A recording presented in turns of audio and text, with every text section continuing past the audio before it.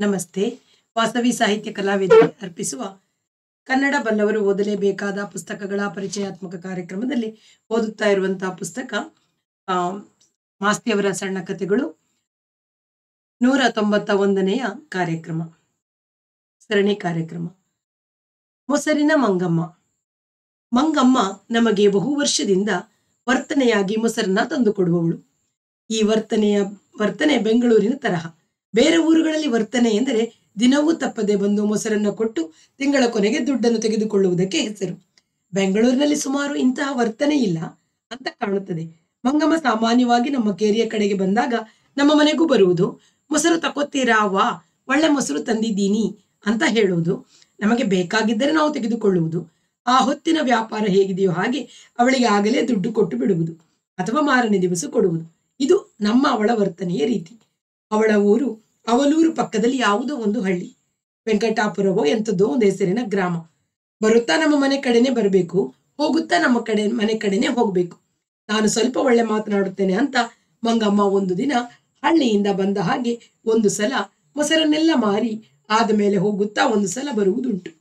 ಬಂದು ನಮ್ಮ ಅಂಗಳದಲ್ಲಿ ಸ್ವಲ್ಪ ಹೊತ್ತು ಕುಳಿತಿದ್ದು ನಮ್ಮನ್ನೆಲ್ಲ ಸ್ವಲ್ಪ ಹೊತ್ತು ಮಾತನಾಡಿಸಿ ಎಲೆನೋ ಅಡಿಕೆನೋ ಬಾಯಲ್ಲಿ ಹಾಕಿಕೊಂಡು ಬೇಕಾದರೆ ಎಲೆನೋ ಅಡಿಕೆನೋ ಕೇಳಿ ತಕ್ಕೊಂಡು ಆಮೇಲೆ ಊರಿಗೆ ಹೋಗುತ್ತಾಳೆ. ಇಂಥ ಸಂದರ್ಭದಲ್ಲಿ ನನಗೆ ಸ್ವಲ್ಪ ಬಿಡುವಿದ್ದರೆ ಅವಳ ಕಷ್ಟ ಸುಖವನ್ನು ಹೇಳುತ್ತಾಳೆ. ನನ್ನನ್ನು ಏನಾದರೂ ಹೇಳು ಅಂತ ಕೇಳುತ್ತಾಳೆ. ನನಗೆ ಕಷ್ಟ ಏನಿದೆ? ಸದ್ಯ ದೇವರು ಎಲ್ಲ ಚೆನ್ನಾಗಿಟ್ಟಿದ್ದಾನೆ. ಏನೋ ಮನೆ ಮಾತು ಬಂತು, ಬೆಕ್ಕು ಬಂತು, ಹಾಲು ಕುಡಿತು ಅಂತಾನೋ, ಇಲ್ಲಿ ಬಂದು ಕುಂಬಳಕಾಯಿ ತಿಂದಿತ್ತು ಅಂತಾನೋ, ಏನಾದರೂ ಒಂದು ಮಾತು ನಾನು ಹೇಳಿದ್ರೆ, ಅಯ್ಯೋ, ಈ ಪ್ರಪಂಚನೇ ಹೀಗೆ ಅಂತ ಅವಳ ಅನುಭವ ತತ್ವವನ್ನು ಹೇಳಿ ಪ್ರಪಂಚನ ಸರಿಯಾಗಿ ನಡೆಸಿಕೊಳ್ಳುವುದು ಹೇಗೆ ಅಂತ ಹೇಳ್ಕೊಳ್ತಾಳೆ. ಹೇಳಿಕೊಡುತ್ತಾಳೆ. ಒಟ್ಟಿನಲ್ಲಿ ಮಂಗಮ್ಮ ನನಗೆ ಬಹಳ ಬೇಕಾದವಳು. ನನಗೂ ಅವಳಿಗೂ ಬಹಳ ಸಲಿಗೆ.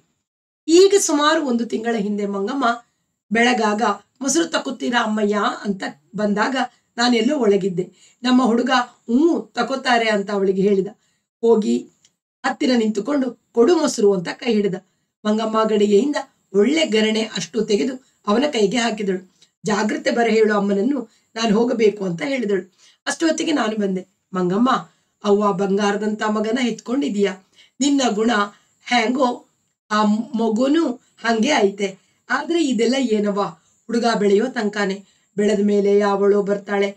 ಈಗ ಅಮ್ಮ ಅಮ್ಮ ಅಂತ ಇರೋ ಮಗ, ಆಗ ಅಮ್ಮನ ನೀನು ಇದ್ದೀಯಾ ಸತ್ಯ ಅಂತ ಕೇಳಲ್ಲ ಅಂದಳು. ನಾನು ಯಾಕೆ ಮಂಗಮ್ಮ? ಏನಾಯ್ತು? ಮಗ, ನೀ ಹೇಳಿದ ಮಾತು ಕೇಳಲಿಲ್ವೇ? ಎಂದೆ. ಸರಿ ಬಿಡು ತಾಯಿ. ಕೈ ಹಿಡಿದ ಗಂಡನೇ ನನ್ನ ಮಾತು ಕೇಳಲಿಲ್ಲ. ಇನ್ನು ಮಗ, ನಾ ಹೇಳಿದ ಮಾತು, ಆ, ಏನು ಕೇಳಿಯಾನು ಗಂಡ ನಿನ್ನ ಮಾತು ಕೇಳಲಿಲ್ವೇ ಮಂಗಮ್ಮ? ಅಯ್ಯೋ ನನ್ನ ತಾಯಿ, ನಾನು ಒಳ್ಳೆ ಶಾಲೆ ಉಡಲಿಲ್ಲ, ಇನ್ಯಾವಳೋ ಉಟ್ಕೊಳ್ಳು. ಶಾಲೆಗೆ ಬೆರಗಾಗಿ ಹೋದ ಅವಳ ತಾವ, ಏನೋ, ಹೆಂಗಾದ್ರೂ ಇರ್ಲಿ. ನನ್ನ ಮನೆ ನನ್ನ ಹೆಂಡ್ರು ಅಂತ ಗಂಡಸಿರೋದೆ ಚಂದ ಅಂತ ನಾನು ಸುಮ್ಕಿದ್ದೆ.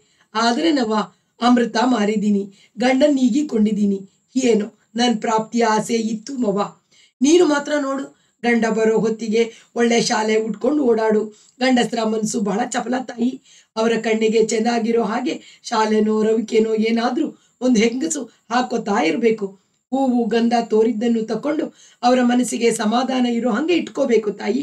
ನೀನೀಗ ಹುಟ್ಟಿದೀಯಲ್ಲ ಇಂಥ ಶಾಲೆ ಏನೋ ಕೆಲಸ ಮಾಡುವಾಗ, ನಿನ್ ಪಾಡಿಗೆ ನೀನು ಮನೆಗೆ ಇರೋವಾಗ ಆಗಬಹುದು ಬೈಗಿನ ಹೊತ್ತಿಗೆ ಒಂದು ಒಳ್ಳೆ ಶಾಲೆ ಉಟ್ಕೋಬೇಕು. ನನಗೆ ಸ್ವಲ್ಪ ನಗು ಬಂತು. ಆದರೆ ಇವಳ ಅನುಭವದಿಂದ ಬಂದ ಮಾತಿನ ಬುದ್ಧಿ ಎಷ್ಟು ದೊಡ್ಡದೆಂದು ತೋರಿತು. ಆ ಮಾತನ್ನು ತಂದ ಅವಳ ಅನುಭವದಿಂದ ಅವಳು ನೊಂದಿದ್ದಾಳೆ ಅಂತ ತಿಳಿದು ವ್ಯಥೆಯೂ ಆಯ್ತು. ನಾನು, ಹೌದು ಮಂಗಮ್ಮ, ನೀನ್ ಹೇಳೋ ಕೆಲ್ ಮಾತು ನಿಜ ಅಂತ ಹೇಳಿದೆ. ಆಮೇಲೆ ಮಂಗಮ್ಮ ಹೇಳಿದಳು, ನೋಡು ತಾಯಿ, ಗಂಡ್ಸನ್ನ ಸರಿಯಾಗಿ ಇಟ್ಕೋಬೇಕಾದ್ರೆ ನಾಲ್ಕು ಉಪಾಯ. ಅವರು ಇವರು ಹೇಳ್ತಾರೆ, ನಾರು ಬೇರು ಇಕ್ಕು ಅಂತ. ಮದ್ಯಕ್ಕೆ ಮಸಣಕ್ಕೆ ಕಳಿಸುವಂತ ಗಾದೆ ಐತೆ. ಇಂಥವ್ರ ಮಾತೆಲ್ಲ ಕೇಳಬಾರ್ದು. ಆಗಾಗ ಬಾಯಿಗೆ ರುಚಿಯಾಗಿ ಏನಾದರೂ ಮಾಡಿಕೊಡೋದು. ಕಣ್ಣಿಗೆ ಚೆಂದಾಗಿ ಶೃಂಗಾರ ಮಾಡಿಕೊಂಡು ಕಷ್ಟ ಇರ್ಲಿ, ನಿಷ್ಠೂರ ಇರ್ಲಿ ನಗ್ತಾ ಮಾತಾಡ್ಸೋದು. ಮನೆಗೆ ಬೇಕಾದ್ನ ತುಂಬಾ ತರಿಸಿಟ್ಕೊಂಡು ಆಗಾಗ ಕೇಳ್ದಿರ ಇರೋದು. ಮೂರು ಕಾಸು, ಆರು ಕಾಸು ಸೇರಿಕೊಂಡು ಏನಾದರೂ ಸಂದರ್ಭ ಬಿದ್ದಾಗ ಒಂದು ರೂಪಾಯಿ ಕೊಡೋದು. ಇದು ಕಣವ ನಾರು ಬೇರು. ಮನೆ ಹೆಂಗ್ಸು ಇದನ್ನ ಮಾಡಿದ್ರೆ ಗಂಡ ಅನ್ನೋನು ಮನೆ ನಾಯಂಗೆ ಇರ್ತಾನವ್ವ. ಇದನ್ ಮಾಡಲಿಲ್ಲ ಅನ್ನೋ ಬೀದಿ, ಇದನ್ ಮಾಡಲಿಲ್ಲ ಅನ್ನೋ ಬೀದಿಲಿ ಅಲಿತಾನೆ. ನಂಗೆ ಮಂಗಮ್ಮನ ಮಾತಿನ ಚಮತ್ಕಾರದಿಂದ ಆಶ್ಚರ್ಯವಾಯಿತು. ಇನ್ನೆರಡು ಮಾತು ಹೇಳಿ ಅವಳನ್ನ ಕಳುಹಿಸಿಕೊಟ್ಟೆ. ಈಗ ಅದನ್ನ ಹದಿನೈದು ದಿನದಿಂದ ಮಂಗಮ್ಮ ಮನೆಗೆ ಬಂದಾಗ ಬಹಳ ಬೇಸರ ಪಟ್ಟಿದ್ದಳು ಅಂತ ಕಂಡಿತು. ಯಾಕೆ ಮಂಗಮ್ಮ ಹಿಂಗಿದ್ಯಾ ಅಂತ ಕೇಳಿದೆ. ಏನ್ ಹೇಳೋದವ್ವ? ನನ್ ಜನ್ಮ ಯಾರಿಗೂ ಬ್ಯಾಡದಿರ ಹೋಯ್ತು ಎಂದಳು. ಮಂಗಮ್ಮ ಸೆರಗಿನಿಂದ ಕಣ್ಣನ್ನು ಒರೆಸಿಕೊಂಡಳು. ನಾನು ಯಾಕವ್ವ? ಏನಾಯ್ತು? ಮಗ ಏನಾದ್ರೂ ಅನ್ನೆ ಅಂತ ಕೇಳಿದೆ. ಹ್ಞೂ ಅಂದ ಕಣವ ಅವನ ಹೆಂಡ್ರು ಅರಿಯದ ಕುನ್ನಿ ಮೊಗ ಆಯ್ತಲ್ಲ, ಅದು ಏನೋ ಮಾಡ್ತು ಅಂತ ಅದನ್ನು ಹೊಡೆದಳು. ಯಾಕೆ ಗಯ್ಯಾಳಿ, ರಕ್ಕಸಿ ಹಂಗೆ ಅರಿಯದ ನಾ ಹೊಡಿತಾ ಇದ್ದೀಯಾ? ಅಂದೆ. ನನಗೆ ಎದುರು ಬಿದ್ಲು. ತಾನು ಮಾರು ನನ್ನ ಬೈದ್ಲು. ಇದೇನೇ ಇದು? ನಿನ್ ಗಂಡನ ಎತ್ತ ತಾಯಿ ನಾನು? ನಾನು ಇಷ್ಟು ಮಾತು ಅಂತೀಯಾ? ಆಗ್ಲಿ, ಅವನೇ ಬರ್ಲಿ ಕೇಳೋಣ ಅಂತಂದೆ. ಸರ್ದಾರ ಮನೆಗ್ ಬಂದ. ನೋಡಪ್ಪ, ಹುಡುಗನ ಸುಮ್ಮನೆ ಬಡಿತಾಳೆ. ಬ್ಯಾಡ ಅಂದ್ರೆ ನನ್ ಬೈತಾಳಲ್ಲೋ? ನಿನ್ ಹೆಂಡ್ರಿಗೆ ಒಸಿ ಬುದ್ಧಿ ಹೇಳು ಅಂದೆ. ಅವಳು. ಏನ್ನ ನನ್ ಬುದ್ಧಿ ಹೇಳೋದು? ಐದಾ ತಂಟೆ ಮಾಡಿದ್ರೆ ಬೇಡ ಅನ್ನೋಕೆ ನನಗೆ ಅಧಿಕಾರಿ ಇಲ್ಲೋ? ನೀನು ಗಂಡನ ಎತ್ತಂಗೆ ಆ ಮಗುನ ನಾನು ಹೆರ್ಲಿಲ್ಲೋ? ಯಾತ್ರದ ಬುದ್ಧಿ ನನಗೆ ಹೇಳ್ಬೇಕಾಗಿರೋದು ಅಂದ್ಲು. ಎಷ್ಟಾದ್ರೂ ಅವಳು ಹೆಂಡ್ರು ಕಣವಾ ನಾನ್ ತಾಯಿ. ಅವಳಂದ್ರೆ ಬದ್ಲಿಗೆ ಅಂತಾಳೆ. ನನ್ನಂದ್ರೆ ನಾನೇನು ಮಾಡೋಂಗಿದ್ದೀನಿ. ಅವನು ಹೌದಮ್ಮ, ಅವಳೆತ್ತ ಮಗುನ ಅವಳು ಹೊಡಿತಾಳೆ. ನೀನ್ ಯಾಕೆ ಅವಳ ತಂಟೆಗೆ ಹೋಗ್ತೀಯಾ? ನನ್ ದಂಡಿಸು ಅಂದ. ಹಾಗಾದ್ರೆ ನಾನ್ ಮಾಡಿದ್ದು ತಪ್ಪಾಯ್ತೇನೋ? ಅಂದ್ರೆ ತಪ್ಪೋ ಸರಿಯೋ? ಹೆತ್ತೊಳು ಮಗನ ದಂಡಿಸ್ಕೊಡುದು. ಅನ್ನೋದು ಆಗ್ತದೆಯೇ ಅಂದ. ನನಗೆ ಕೋಪ ಬಂತವ್ವ. ಮಾತು ತಪ್ಪಿ ಬಾಯಾಗ ಬಂತು. ಏನೋ ಇದು? ಹೆಂಡ್ರು ನಿನಗೆ ಹಾಕಿರೋ ಮಂಕು ಬೂದಿಲಿ. ನಿನಗೆ ಅವಳು ಕಂದನ ಬಡಿದ್ರೂ ಸರಿಯೇ? ನನ್ನ ಬೈದ್ರೂ ಸರಿಯೇ ಆಗಿದೆ?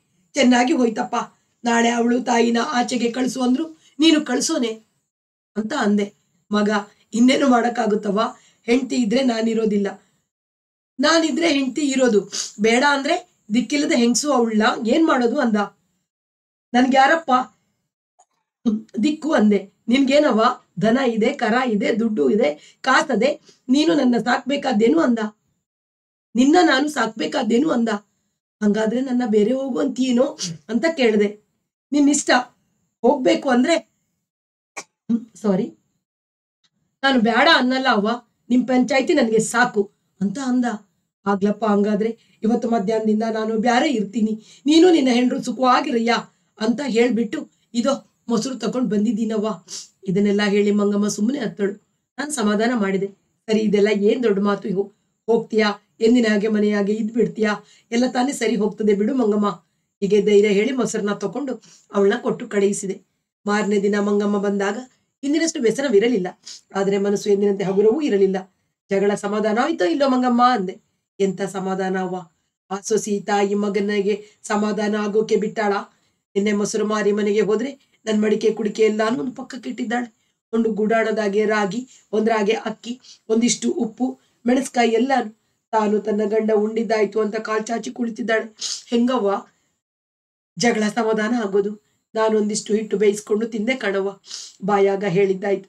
ಅವರಿಷ್ಟೇ ಸಾಕು ಅಂದ್ರು. ಮದುವೆ ಆದ್ಮೇಲೆ ಮಗ ನಮ್ಮನೆ ತಾಯಿ. ಸರಿ, ಅವನಿಗೆ ಬ್ಯಾಡದೆ ಇದ್ದ ಮೇಲೆ ನಾನ್ ಯಾಕೆ ಮೇಗ್ ಬಿದ್ದು ಹೋಗ್ಬೇಕು? ಬ್ಯಾರನೇ ಇದ್ದೀನಿ ಕಣವ ದಿನ ಆ ಮಗುವಿಗೆ ಒಂದು ಮೊಸರು ಕೊಟ್ಟು ಆಮೇಲೆ ಮಾರೋಕೆ ಬರ್ತಾ ಇದ್ದೆ. ಹೊತ್ತಿನ ಆ ಹೊತ್ತಿಗೆ ಸರಿಯಾಗಿ ಅವಳು ಅವನ್ನ ಎಲ್ಲೋ ಕರ್ಕೊಂಡು ಹೋಗಿದ್ಲು.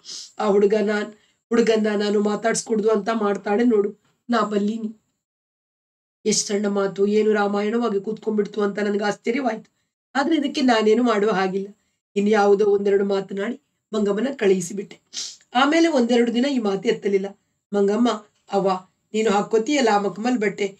ಅದು ಗಜಕ್ಕೆ ಏನ್ ಬಿಲಿ ಅವ್ವ ಎಂದಳು. ಯಾಕೆ ಮಂಗಮ್ಮ ಅಂದೆ. ಇಷ್ಟ ದಿನಾನು ಮಗಗೆ ಮೊಮ್ಮಗ ಮೊಮ್ಮಗಾಗೆ ಅಂತ ಕಾಸಿಗೆ ಕಾಸು ಸೇರಿಸಿದ್ನಿ ಕಾಣವ್ವ. ಇನ್ಯಾಕೆ ಸೇರಿಸೋದು? ನಾನು ಒಂದು ಮಕ್ಮಲ್ ಜಾಕೆಟ್ ಹೊಲ್ಸ್ಕೊಂಡು ಓಡಾಡ್ತೀನಿ ಅಂದಳು. ಆದ್ರೆ ಜಾಕೆಟು ಏಳೆಂಟು ರೂಪಾಯಿ ಆಗ್ಬಹುದು ಮಂಗಮ್ಮ ಅಂದೆ. ಆ ದಿನ ಹೋದವಳು ಮಂಗಮ್ಮ ದರ್ಜಿ ಅಂಗಡಿಲಿ ಮಕ್ಮಲ್ ಬಟ್ಟೆ ವ್ಯಾಪಾರ ಮಾಡಿದಾಳೆ. ಹೊಲಿಯೋಕೆ ಹಾಕಿದ್ದಾಳೆ ಮಾರನೇ ದಿನ ಊರಿಗೆ ಹೋಗ್ತಾ ಅದನ್ನ ಹಾಕೊಂಡು ಬಂದಿದ್ದಾಳೆ. ನೋಡವ್ವ ನನ್ನ ಸಿಂಗಾರನ. ಯಜಮಾನಿದ್ದಾಗ ಒಂದ್ ಒಳ್ಳೆ ಶಾಲೆ ತಕೊಳ್ಳಿಲ್ಲ ಅವನು ಅವಳನ್ನ ನೋಡ್ಕೊಂಡು ಹೋದ. ಮಗನಿಗೆ ಕಾಸಿರಲಿ ಅಂತ ಕೂಡಿಟ್ಟೆ. ಈಗ ಈ ಮಗನ ಸುದ್ದಿ ಹಿಂಗಾಯ್ತು ನೋಡು ನನ್ನ ಸಿಂಗಾರನ ಎಂದಳು.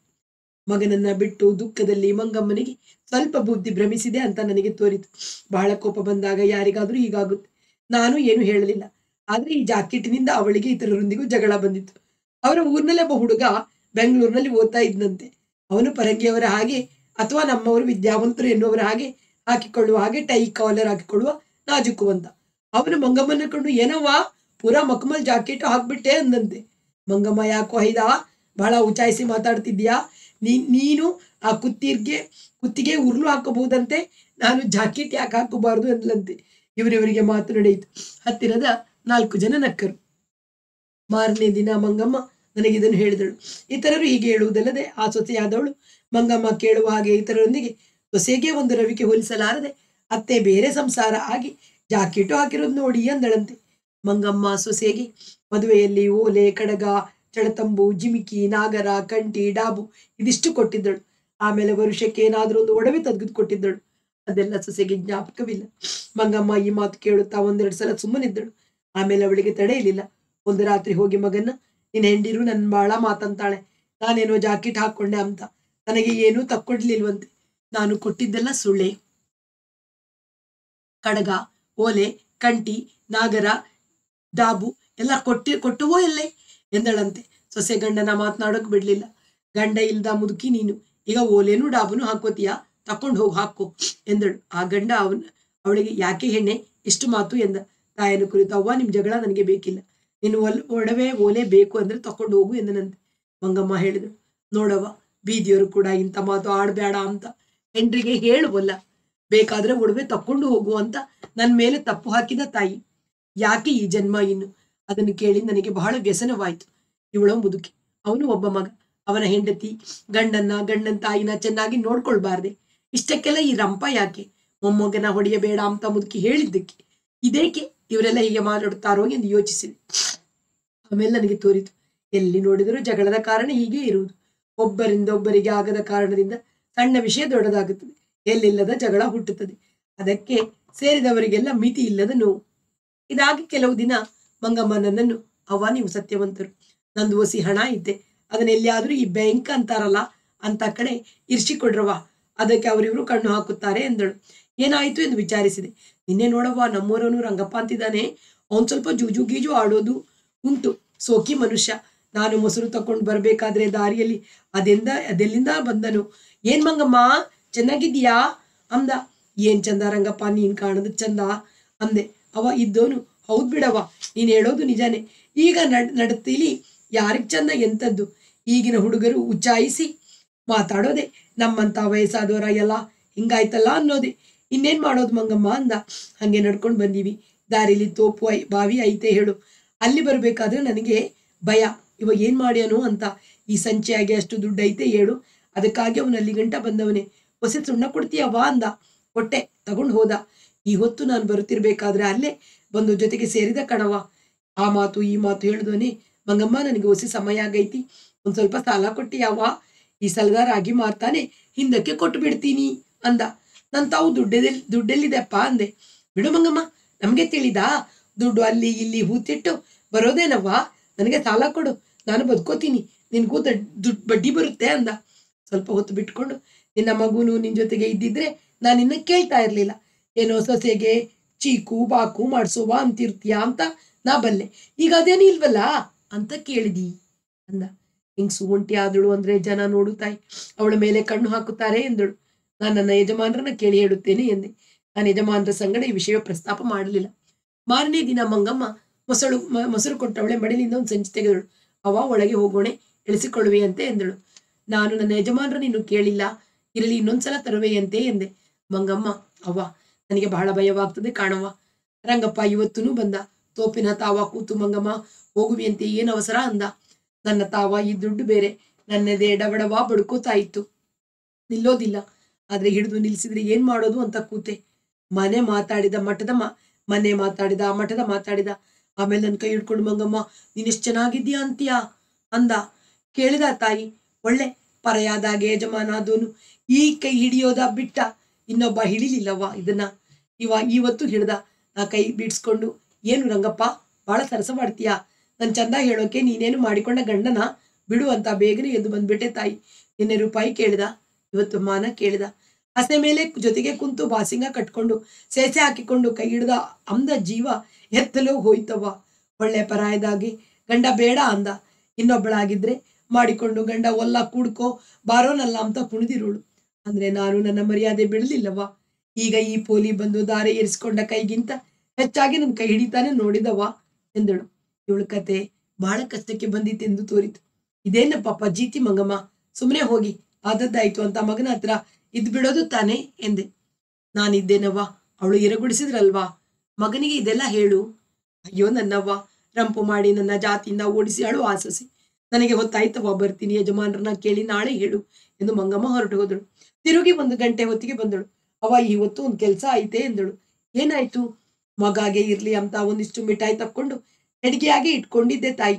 ಮಂಗಮ್ಮ ಮೊದ್ಲು ಮಗು ನನ್ನ ಹತ್ತಿರ ಬರದಂತೆ ಮಾಡಿದಳೆಂದು ಹೇಳಿದಳಲ್ಲ. ಈಗ ಮಗಾಗೆ ಅಂದ್ರೆ ಯಾವ ಮಗುಗೆ ಅಂತ ಅರ್ಥವಾಗ್ಲಿಲ್ಲ ಯಾವ ಮಗುಗೆ? ಅಂದೆ. ಇನ್ನಾವ ಮಗವಮ್ಮ? ನಮ್ಮ ಮಗನೇ. ನಿನ್ನ ಹತ್ರ ಬರೋದಿಲ್ಲ ಅಂತ ಹೇಳಿದ್ದೆ. ಹೋಗ್ಬೇಡ ಅಂತ ಅವರಮ್ಮ ಹೇಳ್ತಾಳೆ. ಆದ್ರೆ ಮಗ ಬರ್ತಿ, ಬರದೇ ಇರ್ತದಮ್ಮ. ಅವ್ರು ಕಾಣ್ದಾಗೆ ಯಾವಾಗ್ಲೂ ಬರ್ತದೆ. ಹೊಸಿ ಹಾಲು ಕುಡಿತದೆ, ಹೊಸರು ಮೊಸರು ತಾ ಅನ್ನುತ್ತೆ ಏನಾದ್ರೂ ಕೊಟ್ಟರೆ ಕುಣಿದಾಡುತ್ತೆ. ರಂಪು ಮಾಡಿದ್ರೆ ನಿಮ್ಮ ಅಮ್ಮನಿಗೆ ಹೇಳ್ತದೆ. ಕೇಳ್ತದೆ ನೋಡು ಅಂದ್ರೆ ಬಾಯಿ ಮುಚ್ಕೋತದೆ. ಮಕ್ಕಳ ಆಟನೇ ಆಟ ಕಣವ ಅದಕ್ಕಿರ್ಲಿ ಅಂತ ಒಂದಿಷ್ಟು ಮಿಠಾಯಿ ಕಟ್ಕೊಂಡು ಅಡುಗೆಯಲ್ಲಿ ಇಟ್ಕೊಂಡು. ಈ ಸಂಕ್ರಾಪುರದಾಗೆ ಬರ್ತಿರ್ಬೇಕಾದ್ರೆ ಅಲ್ಲಿ ಒಂದು ಯಾವುದೋ ಮಾವಿನ ಮರ ಇದೆಯಲ್ಲ, ಅಲ್ಲಿ ಕೂತಿದ್ದ ಒಂದು ಕಾಗೆ ರಪ್ಪನೆ ಬಂದು ಮಿಠಾಯಿನ, ಮಿಠಾಯಿ ಪೊಟ್ಟನ ಎತ್ಕೊಂಡು ಹೋಗ್ಬಿಡ್ತವ ಇವತ್ತು ಹಿಂಗಾಗ್ಬಿಡ್ತು. ನಾನು ಒಂದು ಮಿಠಾಯಿ ಪೊಟ್ಟನ ಹೋದ್ರೆ ಏನಾಯ್ತು? ತಿರುಗಿ ಮಿಟ್ ಮಿಠಾಯಿ ಕಟ್ಕೊಂಡ್ರಾಯ್ತು ಎಂದೆ. ಅದಲ್ಲವಾ? ಕಾಗೆ ಬಂದು ಮನುಷ್ಯರನ್ನ ಮುಟ್ಟಬಾರ್ದು ಅಂತಾರೆ. ಅದಕ್ಕಂದಿ ಎಂದಳು. ಮುಟ್ಟಿದ್ರೆ ಏನಂತೆ? ಜೀವಕ್ಕೆ ಊನ ಅಂತಾರೆ ನನಗೇನಾದ್ರೂ ಬಂತು ಅಂತ ಹಾಗೆ ಭಯ ಆಯ್ತು. ಅನ್ನು ಆಮೇಲೆ ಅನ್ಕೊಂಡೆ ಸಂತೋಷನೇ ಆಯ್ತು. ಯಾರಿಗೊಬ್ಬಿ ಆಡದ ಜನ್ಮ. ನಮ್ಮ ಅಪ್ಪನ ಪಾದದಾಗೆ ಸೇರ್ಲಿ ಬಿಡ್ಲೇಳು ಅಂದ್ಕೊಂಡೆ. ಅಂತೂ ಇಂತು ಇವತ್ತು ಇವತ್ತು ಹಿಂಗಾಯ್ತು. ಏನ್ ತಿಕ್ಲು ಮಾತಾಡ್ತೀಯ ನೀನು? ಕಾಗೆಗೆ ಸಿಕ್ಕೋ ಹಾಗೆ ಮಿಠಾಯಿ ಇಟ್ಕೊಂಡು ದಾರಿಲಿ ಬರೋದು. ಅದು ಬಂದು ತಕ್ಕೊಂಡ್ರೆ ಜೀವಕ್ಕೆ ಊನ ಅನ್ನೋದು. ಇದು ಯಾವ ಬುದ್ಧಿ ಮಾತು? ಹೋಗ್ ಸುಮ್ಮನೆ ಮನೆಗೆ ಹೋಗು ಅಂದೆ. ಹಾಗಾದ್ರೆ ಭಯ ಇಲ್ಲ ಅಂತೀಯಾ? ಭಯಾನೂ ಇಲ್ಲ, ಗಿಯಾನೂ ಇಲ್ಲ. ಜಗಳ ಆಡಿದಷ್ಟು ಆಯುಸ್ ಹೆಚ್ಚು ತಿರುಗಿ ಈ ಸಮಾಚಾರ ಯೋಚನೆ ಮಾಡಿದೆ ನಗುತ್ತಾ ಮನೆಗೆ ಹೋಗು ಎಂದೆ. ಮಂಗಮ್ಮ ಹೊರಟು ಹೋದಳು. ನಾನಿವಳ ಮನಸ್ಥಿತಿಯನ್ನ ಕುರಿತು ಯೋಚಿಸಿದೆ. ಆಶ್ಚರ್ಯಪಟ್ಟೆ. ಮಗ ಬೇಕು, ಸೊಸೆ ಬೇಕು, ಮೊಮ್ಮಗ ಬೇಕು. ಆದ್ರೆ ತಾನು ಯಜಮಾನಿ ಅಂತ ತನಗೆಲ್ಲರೂ ಗೌರವ ತೋರಿಸ್ಬೇಕು. ಮನುಷ್ಯನಾದವನಿಗೆ ಈ ಚಪಲ ತಪ್ಪಿದ್ದಲ್ಲ. ಜೀವನದಲ್ಲಿ ಏನೋ ಬೇಸರ, ಆದರೂ ಸಾಯುವುದಕ್ಕೆ ಇಷ್ಟವಿಲ್ಲ. ಆದ್ರೆ ಆ ಇಷ್ಟ ಇಲ್ಲ ಅಂತ ತೋರಿಸ್ಕೊಳ್ಳುವುದಕ್ಕೆ ಇಷ್ಟ ಇಲ್ಲ. ಹಳ್ಳಿಯ ಜನ, ತಿಳಿಯದ ಜನ, ಮುಚ್ಚುಮರೆ ಅರಿಯದವರು ಅಂತ ನಾವು ಹೇಳುವ ಇಂಥವರ ಮನಸ್ಥಿತಿಯೇ ಹೀಗೆ. ಪರದೆಯ ಹಿಂದೆ ಪರದೆ, ನೆರಿಗೆಯ ಹಿಂದೆ ನೆರಿಗೆ. ಮಡಿಕೆಯ ಮರೆಯಲ್ಲಿ ಮಡಿಕೆ. ಇದು ಏನು? ನಾಟಕದ ಸೂತ್ರ ಅಂತ ಅಂದ್ಕೊಂಡೆ. ಮಂಗಮ್ಮ ತಿರುಗಿ ಬಂದಾಗ ಇನ್ನೊಂದು ಸಮಾಚಾರ ಹೇಳಿದಳು.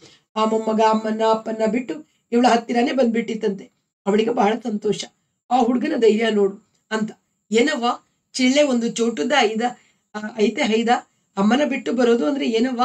ನಿನ್ನೆ ಮಧ್ಯಾಹ್ನ ನನ್ನ ಮನೆಗೆ ಬಂದ ಹುಡುಗ ತಿರುಗಿ ಅಮ್ಮನ ಹತ್ರ ಹೋಗೋದಿಲ್ಲ ಅಂದ್ಬಿಡ್ತು ಇಷ್ಟು ದಿನ ಮುಚ್ಚುಮುರಿಲಿ ಬರ್ತಾ ಇದ್ದದ್ದು ಯಾವಾಗ ಮನೆ ಹೋಗಲ್ಲೋ ಅಂತ ಅವರಮ್ಮ ರದ್ದಾಂತ ಮಾಡಿದಳು. ಬಾ ನಿನಗೆ ಹೊಡಿತೀನಿ ಅಂದ್ಲು. ಐದ ನಾ ಬರೋಲ್ಲ. ಅಂತ ನನ್ನ ಕಾಲು ಹಿಡ್ಕೊಂಡು ನಿಂತು ಬಿಡ್ತಾವ ಹೋಗೋ ಅಂತ ಇನ್ನಿಲ್ದೆ ಹೇಳ್ದೆ. ಅವರ ಅಪ್ಪನೂ ಬಂದು ಕೇಳ್ದ. ಹೋಗಲ್ಲ, ನಾನ್ ನನ್ ತಾವನೇ ನಿಂತು ಬಿಡ್ತು ತಾಯಿ. ಹತ್ತು ದಿನ ಬೇರೆ ಮನೆಯಲ್ಲಿ ಒಬ್ಳೆ ಮಲಗಿ ಯಾವಾಗ್ಲಾದ್ರೂ ಒಸಿ ಭಯಪಡ್ತಾ ಇದ್ದಿ. ನಿನ್ನೆ ಈ ಹೈದ ಜೊತೆಗಿದ್ದ ಅಂದ್ರೆ ಏನೋ ಧೈರ್ಯ ಬಂದ್ಬಿಡ್ತವ. ಏನೆಂದ್ರು ಗಂಡಸು ನೋಡವ ದೇವ್ರು ನೋಡಿ ಅವನಿಗೆ ಬುದ್ಧಿ ಕೊಟ್ಟಿದ್ದು. ಬೆಳೆದ ಮಗ ಬೇಡ ಅಂದ್ರೆ ಈ ಚಿಳ್ಳೆ ಮಗ ನಾನಿದ್ದೀನಿ. ಸುಮ್ಕಿರು ಅಂತ ಬಂದ್ಬಿಡ್ತು. ರಾಮಾಣ್ಯ ಮಾಡಿದ್ರು ಸೊಸಿ. ರಾತ್ರಿ ಎಲ್ಲ ಜಪ್ಪಯ್ಯ ಅಂದ್ರೂ ಇದು ಹೋಗ್ಲಿಲ್ಲ. ಬೆಳಗಾಗ ನಾ ಇಲ್ಲಿ ಬರ್ಬೇಕಾದ್ರೆ ನೀನು ಒಂಟಿಯಾಗಿರ್ತೀಯೋ ಅಂತ ಅವರಮ್ಮನ ಮನೆ ಬಾಗಿಲು ತಾವು ಕರ್ಕೊಂಡು ಹೋಗಿ ನಿಲ್ಲಿಸಿದೆ. ಒಳಗ್ ಹೋತು ನಾ ಇತ್ಲಾಗ್ ಬಂದಿ ಅವಳು ಮಗುನ ಹೊಡೆದ್ರೆ ಏನ್ ಮಾಡ್ತೀಯಾ? ಅಂತ ನಾನು ಕೇಳಿದೆ. ಮಗ ಒಪ್ಪತ್ತಾದ್ರೂ ಮನೆಗೆ ಬರ್ತಾನಲ್ಲ ಎಂಬ ಸಂತಸ ಇಲ್ವೇ ತಾಯಿ ಅವಳಿಗೆ, ಹತ್ತಿರಲೇ ಇದ್ರೆ ಹೊಡೆಯೋಣ ಅನ್ನಿಸ್ತದೆ. ಈಗ ನೋಡವ್ವ, ನನಗೆ ಒಂದೇ ಮನೆಯಾಗ ಇದ್ದಾಗ ನನ್ ಸೊಸಿ ಎಂತ ಚೆಲ್ವಿ ಅಂತ ತಿಳಿತಿರ್ಲಿಲ್ಲ. ಈಗ ನೋಡ್ತೀನಿ ದೂರದಿಂದ ಏನೋ ಮುಖ ಗಂಟು ಹಾಕಿಕೊಂಡು ಹೆಂಗೋ ಇರ್ತದೆ ಅನ್ನು. ಮಿಕ್ಕಾದ ಹಂಗೆ ಒಳ್ಳೆ ಚೆಲ್ವಿ. ಅದಕ್ಕೆ ನನ್ನ ಹೈದ ಮರುಳಾಗಿರೋದು. ಅವನು ಹಂಗೆ. ಆಗ ಏಸೊತ್ತಿಗೆ ಮನೆಗೆ ಬಂದು ಏಸೊತ್ತಿಗೆ ಹೊಲಗೆ ಹೊತ್ತು ನೋಡ್ತಿರ್ಲಿಲ್ಲ. ಈಗ ನನ್ ಮನೆ ಬಾಗಿಲಾಗ ಕೂತು, ಇದ್ಯಾಕೆ ಇನ್ ಬರ್ಲಿಲ್ಲ? ಇದ್ಯಾಕೆ ಇಷ್ಟ್ ಬೇಗ ಹೊರಟ? ಅಂತ ನೋಡ್ತಾ ಇದ್ದೀನವ್ವ ಅವಳಿಗೂ ಹಂಗೆ ಅಲ್ವೇ. ಹೊಡೆದರೆ ನಾಳೆ ಬೆಳಗಾಗ ನಾನು ಮೊಸರು ಮಾರೋಕೆ ಹೊರಟಾಗ ನನ್ನ ಜೊತೆನೆ ಬಂದ್ಬಿಡ್ತಾನೆ. ತಿಂಗಳು ದಿನ ಹೊತ್ತು ನೋವು ಪಟ್ಟು ಹೆತ್ತ ಮಗನ ಬಿಟ್ಕೊಟ್ಟಾಳ ತಾಯಿ. ಇವಳ ಯೋಚನೆ ಎಷ್ಟು ದೂರ ಓಡುತ್ತದೆ ಎಂದು ನನಗೆ ಆಶ್ಚರ್ಯವಾಯಿತು. ಇಷ್ಟರಲ್ಲಿ ಇವರ ಜಗಳ ಸುಮುಖವಾಗಿ ಕೊನೆಗಾಣುತ್ತದೆ ಎಂದು ಮನಸ್ಸಿಗೆ ಅನ್ನಿಸಿತು. ಆದದ್ದು ಹೀಗೆ. ಎರಡು ದಿನ ಹುಡುಗ ತಾಯಿ ಮನೆಗೆ ಹೋದವನು ಮಾರನೇ ದಿನ ಪಾರ್ಟಿ ಜೊತೆಗೆ ಬೆಂಗಳೂರಿಗೆ ಬರುತ್ತೇನೆಂದು ಹಠ ಮಾಡಿದ. ಮುದುಕಿ ಮೊಸರಿನ ಹೆಣಿಗೆ ತಲೆ ಮೇಲಿಟ್ಕೊಂಡು ಮೊಮ್ಮಗನ ಕಂಕುಳಲ್ಲಿ ಇಟ್ಕೊಂಡು ಮೂರು ಮೈಲಿ ಬರೋದು ನಿಜವಾದ ಮಾತೆ. ಏನ್ ಮಾಡೋದೆಂದು ಅವಳಿಗೆ ತೋರಲಿಲ್ಲ. ಮಗುನೂ ಸೊಸೆಯು ಕೂಡ ಬಂದು, ಏನೋ ಆತವ ನಾವು ತಪ್ಪು ಮಾಡಿದ್ವಿ, ನೀನು ಕೋಪಿಸ್ಕೊಂಡ್ರೆ ಹಾಗ್ರವ, ಹಾಗವ್ವ ಎಂದ್ರು. ಊರಿನ ಜನವು ನಾಲ್ಕು ಜನ ಬಂದು ಇವಳಿಗೆ ಸಮಾಧಾನ ಹೇಳಿದ್ರು. ದೊಡ್ಡಸ್ತಿಗೆ ಕಳೆದುಕೊಳ್ಳದ ಹಾಗೆ ಮಂಗಮ್ಮ ತನ್ನಿಷ್ಟದಂತೆ ಸೊಸೆಯ ಜೊತೆ ಸೇರಿಕೊಂಡಳು. ಆದ್ರೆ ಆ ಮೊಮ್ಮಗ ಅಜ್ಜಿಯ ಜೊತೆ ಇರಬೇಕು ಅಂತ ಅನ್ನೋದನ್ನ ಹಠ ಮಾಡಿಬಿಟ್ಟ. ಅದರ ಮೇಲೆ ಒಂದು ಹೊಸ ಏರ್ಪಾಡಾಯಿತು.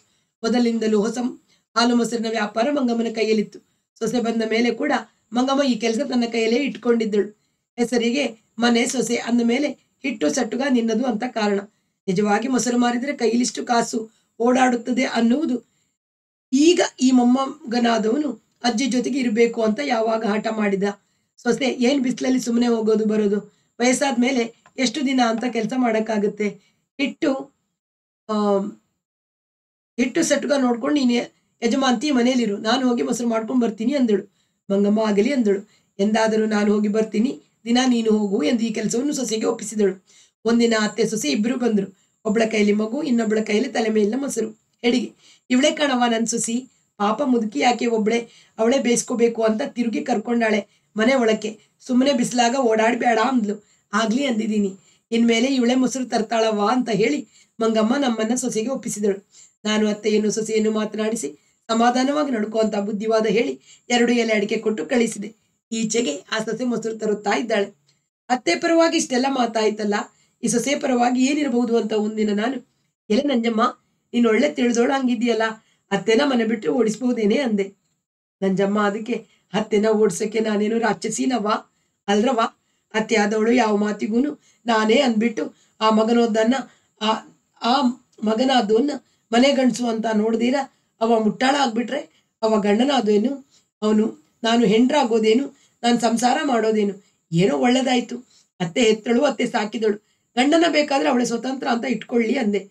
ನನ್ ಮಗನ ನಾನು ಹೊಡಿಕೊಡ್ದು ಅಂತ ಮಾಡಿದ್ರೆ, ಅತ್ತೆ, ಇದು ಯಾತ್ರ ಸುಸಿತನವ ಅಂದ್ಲು ಮಗ ನಿನ್ನೋನು ಅನ್ನೋದಕ್ಕೆ ಅವನ ಹೊಡೆಯೋದೇ ಗುರ್ತೇನೆ. ಹೊಡೆಯೋದು ಆಡಿಸೋದು ಹೊಡೆದಾಗ ಯಾಕೆ ಹೊಡಿತೀಯಾ ಅನ್ನೋರು ಆಡಿಸಿದಾಗ ಯಾಕೆ ಆಡಿಸ್ತೀಯಾ ಅನ್ಬೋದು ಇದೆಲ್ಲ ಇದನ್ನೆಲ್ಲ ಯಾರವ ವ್ಯವಹರಣೆ ಹೇಳೋದು. ನನ್ ಮಗುನ, ಅಂದ್ರೆ ನನ್ ಮಗುನ, ನನ್ ಗಂಡ್ನು, ಅಂದ್ರೆ ನನ್ ಗಂಡ್ನು. ಸೊಸಿ ಅಂತ ಬಂದೋಳು, ಒಂದ್ ಮಾತ್ ಅಂದ್ರೆ ಅನ್ಲಿ, ಒಂದ್ ಏಟು ಹೊಡೆದ್ರೆ ಹೊಡಿಲಿ. ಅಂತ ಅಂದಿರ ಇದ್ರೆ ನಾನ್ ಸಂಸಾರ ಮಾಡೋದು ಹೇಗೆ? ನನಗೆ ಮಂಗಮ್ಮ ಮಾತನಾಡಿದಾಗ ಆ ಮಾತು ಸರಿ ಎಂದು ತೋರಿದ ಹಾಗೆ ಇವಳು ಮಾತನಾಡಿದಾಗ ಇವಳದು ಸರಿ ಅಂತ ತೋರಿತು. ಹಾಗಾದ್ರೆ ಈಗ ಮನೆಯಲ್ಲಿ ನಿನ್ಗೆ ಸ್ವತಂತ್ರ ಬಂತು? ಈಗ ಮೊದಲಿಗನ್ನ ಮೇಲು ತಾಯಿ, ಹೆಂಗಾದ್ರೂ ಸರಿಸ್ಕೊಂಡು ಹೋಗ್ಬೇಕು. ಸರಿಸಿಕೊಳ್ದಿರಾ ಜಗಳ ಮಾಡಿದ್ರೆ ನಮ್ಮತ್ತೆ ಕಾಸನ್ನೆಲ್ಲ ಹಿಂದೆ ಯಾರಾದ್ರೂ ಬಾಯಿಗೆ ಹಾಕೋತಾರೆ. ನಮ್ಮೂರಾಗ ರಂಗಪ್ಪ ಅಂತ ಇದ್ದಾನೆ. ನಮ್ಮತ್ತೆ ಬೇರೆ ಇದ್ದಾಗ ಅವನು ಅವಳ ಸಾಲ ಕೇಳಿದ್ನಂತೆ. ಇವಳು ಕೊಡ್ತೀನಿ ಅಂದಂತೆ ಅದ್ನ ಅವ ಹೇಳ್ದ. ಅದ್ರ ಮೇಲೆ ನಾನು ಮಗುನ ಕರೆದು, ಎಲ್ಲೋ ನೀನು ಪಾಟಿ ಹತ್ರ ಹೋಗು. ಮಿಠಾಯಿ ತಿಂಡಿ ಕೊಡ್ತಾಳೆ. ನಮ್ಮ ಮನ್ಯಾಕ ಬರಬೇಡ? ತಿರುಗಿ ನಾನ್ ಕರೆಯೋರಿಗೆ ಇಲ್ಲಿ ಬರ್ಕೊಡುದು ಅಂತ ಕಳ್ಸಿಕೊಟ್ಟೆ. ಜಗಳ ಹೆಂಗಾದ್ರೂ ತೀರಿದ್ರೆ ಸಾಕು ಅಂತ ಇದೆಲ್ಲ ಸರಿ ಮಾಡಿದೆ ತಾಯಿ. ಹಾಗಾದ್ರೆ ಅಜ್ಜಿ ಹತ್ರ ಮಗುನ, ಮಗು ತಾನೇ ಹೋಗ್ಲಿಲ್ವೇ? ಮಗುನೇ ಹೋಯ್ತು ತಾಯಿ. ನಾನ್ ಕಳ್ಸಿಕೊಟ್ಟೆ. ಹೀಗೆ ಮಾಡ್ತೀನಿ ಅಂತ ನಿನ್ ಗಂಡಂಗೆ ಹೇಳಿದ್ಯೇನು? ಅಯ್ಯೋ, ಇದನ್ನೆಲ್ಲ ಹೇಳೋರುಂಟೆ ಅವ ಗಂಡಸರಿಗೇನು ತಿಳಿತದೆ ಮಂಗಮ್ಮನಿಗಿಂತ ನಂಜಮ್ಮನ ನಂಜಮ್ಮ ಬುದ್ಧಿಯಲ್ಲಿ ಕಡಿಮೆ ಇಲ್ಲ. ಆ ಮನೆಯಲ್ಲಿ ಈಗ ಅತ್ತೆಗೆ, ಸೊಸೆಗೆ ಸ್ವಾ, ಸ್ವಾತಂತ್ರ್ಯದ ಸ್ಪರ್ಧೆ ನಡೆಯುತ್ತಿದೆ. ಅದರ ಮೂರ್ತ ಸ್ವರೂಪ ಆ ತಾಯಿ ಮಗ, ಈ ಹೆಂಡತಿ ಗಂಡ. ಅವನನ್ನು ಬಿಟ್ಟು ಕೊಡಬ ಕೊಡಕೂಡದೆಂದು ತಾಯಿ ಮನೋಗತ, ಅವನನ್ನು ಹಿಡಿಯಲೇಬೇಕೆಂದು ಈ ಸೊಸೆಯ ವೃತ್ತ ಇದು ಎಲ್ಲಾ ಕಡೆಯಲ್ಲಿ ನಡೆಯುತ್ತಿರುವ ವ್ಯಾಪಾರ. ಇದರ ಗೆಲುವು ಸೋಲು ಹೀಗೆ ಎಂದು ಹೇಳುವಂತಿಲ್ಲ. ನೀರೊಳಗಿರುತ್ತ ಮಗುವಿನ ಕಾಲು ಹಿಡಿದಿರುವ ಮೊಸಳೆಯ ಹಾಗೆ ಸೊಸೆ. ಮೇಲೆ ನಿಂತು ಮಗುವಿನ ತೋಳನ್ನು ಹಿಡಿದುಕೊಂಡು ಅದನ್ನು ಉಳಿಸುತ್ತೇನೆ ಎಂದು ಹೇಳುವವಳು ತಾಯಿ. ಮಧ್ಯೆ ಆ ಮಗುವಿನ ಪಾಡು ಸ್ವಲ್ಪ ಕಷ್ಟ. ಹಳ್ಳಿಯಲ್ಲಾದರೆ ಮೊಸರು ಮಾರುವ ಮಂಗಮ್ಮ. ಮನೆಯಲ್ಲಿ ಪಟ್ಟಣದಲ್ಲಿ ಮೊಸರು ಕೊಳ್ಳುವ ತಂಗಮ್ಮನ ಮನೆಯಲ್ಲಿ ನಡೀತಾ ಇದೆ ಈ ವ್ಯಾಪಾರ. ಕೊನೆಯ ಅಂಕ ಕಾಣದ ನಾಟಕ. ಮುಂದಿನ ಕಥೆಯನ್ನು ಮುಂದಿನ ವಾರ ಕೇಳೋಣ. ಅಲ್ಲಿಯವರೆಗೆ ಎಲ್ಲರಿಗೂ ಪ್ರೀತಿ ನಮಸ್ಕಾರ. ವಾಸವಿ ಸಾಹಿತ್ಯ ಕಲಾವೇದಿಕೆ ಸುಳ್ಯ.